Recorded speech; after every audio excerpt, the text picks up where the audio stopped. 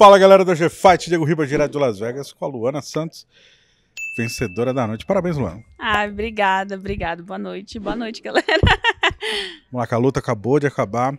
Tava confiante da vitória, alguma coisa saiu como não previsto. Relembra para mim os três assaltos. Ah, eu lembro muito pouco, né, gente? A adrenalina me toma. Mas eu acho que eu poderia ter tido uma melhor performance se eu tivesse mais tempo.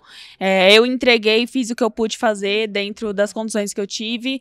É, graças a Deus saí com a vitória, para mim é isso que importa. Eu sempre vou buscar melhorar, eu sempre vou buscar dar o meu melhor. Talvez essa não tenha sido a minha melhor performance, mas para mim o que importa é o resultado. E eu fiz o que eu pude nas condições que eu tinha. Exatamente. Deu quedas de judô finalmente. Eu é. queria ver essas quedas. Contra uma judoca, inclusive. Como você sentiu ela ali no clinch? Eu tentei dar a queda antes. É, a Stephanie é uma menina muito forte. Eu imaginava que isso poderia acontecer ali de eu tentar dar as quedas e, e não conseguir, como eu tentei antes. E não consegui. Ela é judoca também, ela sabe como defender. É judoca de muito nome, já ganhou até da Honda, inclusive. Então, na oportunidade que eu tive, eu consegui fazer. Mas foi uma menina muito forte, eu já imaginava, eu vi comentários falando mesmo, dava para ver fisicamente. É uma menina que tá descendo pro 66. Eu sou 57, lutei agora de 61. Já tinha lutado de 61. Imaginava que ela fosse forte, mas não tanto. Então... Ela tá descendo pro 66, falou não? Ela era 66. Tá descendo pro 61. Desceu pro 61. E eu sou 57, já lutei de 61 já, mas foi o que eu disse, eu fiz o que eu pude nas condições que eu tinha, graças a Deus eu saí com a vitória, é, consegui travar bem ela ali na grade. Hum, e foi isso. O resultado veio, graças a Deus, e é isso que importa no final. Certo, vamos falar então da parte física. Vamos lá. Ontem você pesou 139 pounds sem roupa, 3 pounds acima do limite, com a livre de tolerância da categoria acima da sua. Uhum. Como você resumiria isso? Por que isso? Eu, sinceramente, não sei o que aconteceu. Eu peguei a luta de última hora. É, eu estava realmente um pouco acima. Tem muita coisa que pode ter acontecido, influenciado, é, saúde, é, o tempo que eu tive. Eu não, não tô aqui para dar desculpa, não sou uma pessoa que não dou desculpa, não bati o peso, o erro meu, é, paguei por isso. E não, não, não, não sei muito o que falar. Não tem muito o que dar desculpa, gente. É, eu não bati, não fiz, o, não fiz o meu dever de casa que eu deveria ter feito. E é isso. É, é aprendizado. É, peguei a luta em cima da hora, fiz o que eu pude nas condições que eu tinha. Há algo que você possa tirar de lição desse, dessa, dessa situação, desse cenário? Talvez não subir tanto de peso em off, não sei. Sim, com certeza. É não abusar após luta. Eu tenho, eu amo comer. amo, é, isso é um defeito meu na minha vida inteira. Sempre gostei muito de comer, comer besteira. É, eu, eu tava machucada também depois da minha última luta, então fiquei um mês inteiro sem treinar. É, fui pro Brasil. Fiquei três semanas no Brasil. Querendo... Tocou o zaralho no Brasil. É, exato. É, no, no Brasil nem, nem cheguei a treinar, quis curtir minha família, é, aproveitar o que eu podia. Fiquei três semanas lá, tô morando fora, então eu queria ficar o máximo com a família. Óbvio, fiquei sem treinar, e fiquei um mês sem treinar depois da última luta que tinha me machucado. É uma junção de coisas, irresponsabilidade minha, arquei com isso, e é isso, aprendizado. Eu sou uma pessoa que eu aprendo muito com meus erros, e com certeza isso vai me servir de lição responsabilidade sua aos 23 anos, que é a hora de fazer, né? Uh, mas a, se você conseguir aprender, mesmo saindo com a vitória, normalmente o pessoal aprende com a derrota, né? Na vitória, meio que os, os defeitos se apagam. Conseguindo aprender, acho que é o melhor cenário possível, né? Não, é, para mim não ter batido peso é uma derrota, então eu vou levar isso para mim e na derrota eu aprendo, errando eu aprendo, eu não sou uma pessoa que eu vou errar, vou dar cabeçada e vou falar, ai, tá tudo bem, acontece e vou continuar errando. Não, eu sou uma pessoa que eu aprendo muito com meus erros.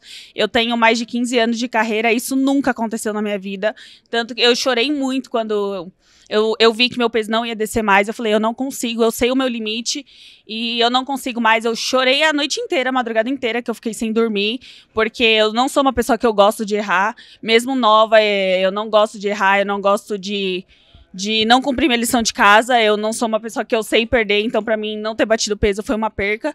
E com certeza vou levar de lição e vou aprender com isso.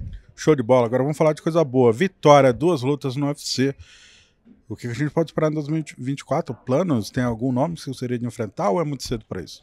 Gente, eu vou contar uma curiosidade para vocês. Eu nem ia falar isso por eu não ter batido peso. Eu falei assim, ah, eu não tenho moral para falar isso, mas eu vou falar. É... Eu lutei de 61 agora e eu sempre, eu sempre assisti o UFC pelos nomes grandes que tinha antigamente, né? Eu nunca fui uma pessoa que eu assisti o UFC minha carreira inteira de. Eu sou judoca, então eu via os nomes grandes que eu via. Misha, Honda, Holly Holm, que tava ali entre as tops, Amanda Nunes. E eu tive cachorrinhos em 2017. E o nome dos meus cachorros foi Honda, que eu sou fã número um dela. E eu coloquei a Misha também como um nome de uma cachorra que hoje eu não tenho mais. E a Misha seria um nome que eu gostaria de lutar. Sempre fui muito fã, foi um dos nomes, dos primeiros nomes que eu assisti no UFC. Sei que ela é do 61, sei que eu sou 57, mas o UFC eu tô aberta para lutar de 61, de 57 que vocês me oferecerem. E eu acho que a Misha seria uma boa luta para mim. Assisti a luta dela semana passada, tá vindo de vitória, tô vindo de duas vitórias. Sei que é um nome muito grande para me pedir, tô dando um passo maior que a perna, mas sempre fui fã dela e eu acho que seria uma boa luta para mostrar para todo mundo aí. Mirar na lua para você estar na estrela, como diria a minha avó. Luana, parabéns mais uma vez, vencendo a próxima luta. Já é hora de renovar com uma vitória, aí é o momento certo. Olhar para a câmera, mandar um recado para os fãs do G-Fight que vem pela frente? O que, a gente pode esperar da Luana? Galera, muito obrigada a todo mundo que torceu por mim, que me mandou mensagem, que me apoiou, que me defenderam aí por eu mesma não ter batido peso. Teve muita gente que me defendeu. É, foi o que eu disse, eu aceitei a luta em três semanas, eu fiz o que eu pude nas condições que eu tinha. Fiquei muito chateada por não ter batido peso, é, queria agradecer a minha adversária também por ter aceitado a luta. É, muito obrigada a todo mundo que me manda mensagem, que torce por mim, galera da FC, enfim, todo mundo. Eu tô aqui sempre pra, pra dar o meu melhor para vocês, o que eu puder fazer para mostrar um show para vocês, eu vou fazer. Talvez essa não tenha sido um, a, uma das minhas melhores lutas, mas foi o que eu disse. Eu fiz o que eu pude nas condições que eu tinha e a vitória veio, e é isso que importa no final. Thalita Alencar. Parabéns, Thalita. Muitíssimo obrigada. Estreou no UFC, estreou com vitória, não tinha vencido, tinha empatado no Contender Series. Uh, primeira coisa, a evolução que você mostrou, principalmente na trocação, para esse curto período de tempo, foi significativa. Com certeza. É, não é nem a trocação que foi desenvolvida, é mais a estratégia da luta, entendeu? É, claro que a estratégia muda quando a oponente é um pouco mais longa, entendeu? E a Rayane era um pouco mais parecido com a minha altura, então é, a gente queria sim desenvolver a trocação, mas claro, terminando com o que eu faço melhor, que é o chão, né? E fazer wrestling, todo seguindo o jogo do plano, o plano do jogo que a gente é, trabalhou na academia. Me corrija se eu estiver errado, mas eu acho que todas as meninas que você vai enfrentar vão ser um pouquinho maiores que você, tá certo? Esquece, é verdade. Todo mundo vai ser bem maior do que eu, com certeza. Não bem, um pouquinho às vezes. Velho. É, um pouquinho. A Rayane não foi tão, tão mais alta do que eu. É, eu sei que eu vou ter sempre que fazer um ajuste é, para o tamanho da, da oponente e vai mudar jogo para jogo, mas eu tô muito feliz e grata pelo meu strike. Eu tive que acreditar mais para eu ter derrubado ela antes, entendeu? E ter procurado a minha finalização procurado os 50k, que é o sonho de todo mundo, mas assim, é, só tenho gratidão, entendeu? Não tem que reclamar. É, muita fé em Deus, estou saudável e ela também, e é isso aí, entendeu?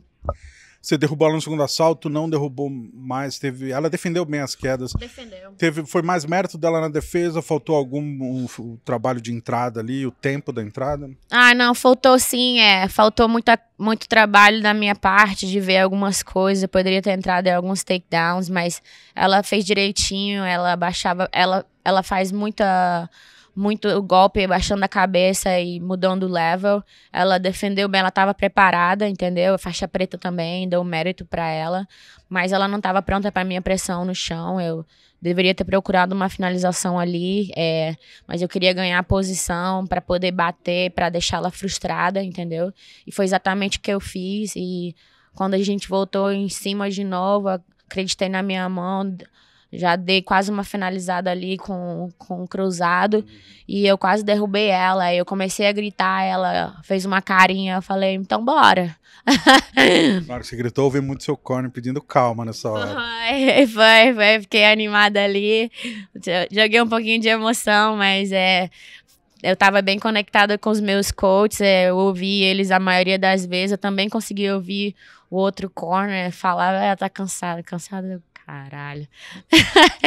Daniel Mendes, Josias Cavalcante no seu corner, corner de peso. Vamos lá, você perdeu o primeiro assalto, venceu o segundo, terceiro foi, foi bem equilibrado. A decisão, você venceu por decisão dividida hoje. Você tinha certeza da vitória? Eu vi que as duas comemoraram quando acabou. Assim, eu tinha certeza por causa do takedown, por causa que eu também, é, eu meio que quase derrubei ela ali na, com a mão cruzada, então aquilo ali foi mérito. Ela jogava muita pancada, sim. Teve, é, sim, muita coisa que entrou, mas, assim, o fato de eu ter derrubado e eu ter dominado mais o cage, eu sabia que ia ser meu, entendeu? Eu, tinha, eu tava convicta que era. É, claro que eu não consegui buscar a finalização, assim, não, já sabe, né?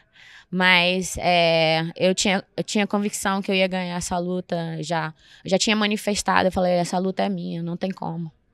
Não foi contratada pela UFC pela forma uh, convencional, é. mas caiu bem esse espaço, venceu sua estreia. Nesse final de semana aqui em Las Vegas está rolando o Mundial No Gi. É verdade que você estava inscrita para competir? É incrível, eu vou te falar. É, é, quando eu comecei a minha carreira de MMA, eu praticamente me ofusquei no jiu-jitsu, né? Porque eu tive que sacrificar tudo que eu tinha construído no jiu-jitsu para aprender o MMA e me divertir, entendeu? Uhum. E eu voltei a competir jiu-jitsu para refinar o meu tempo, né, para procurar mais as finalizações e confiar mais e continuar é, tipo updating, né? É, eu realmente estava escrita, era para já estar em Vegas também, de qualquer maneira.